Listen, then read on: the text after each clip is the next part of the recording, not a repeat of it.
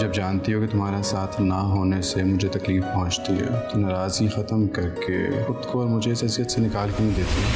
कुछ ना कुछ छीन के उसने जो मुझे तकलीफ़ पहुंचाई है ना जब तक मैं उसे उतनी तकलीफ़ ना पहुँचा दूँ ना चैन से नहीं बैठती छीन तो लिया है। अब तो मेरी बीवी हो जैसे मैं चाहूँगा तुम वैसे ही रहोगी। मैं बहुत जल्द खुला लेने वाली तुम्हारी जैसी औरतें होती जिनके शोहर मुँह मारते हैं बाहर जाकर। अगर तुम हम दोनों के बीच में ना आते तो वो कभी भी मुझसे शादी करने से इनकार नहीं करती। बहुत मोहब्बत करती थी वो मुझसे।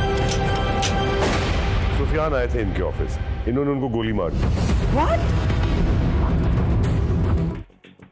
एक सितम और। देखिए हर पीर से जुमेरात रात नौ बजे। सिर्फ़ ए आर वाई डिजिटल पर।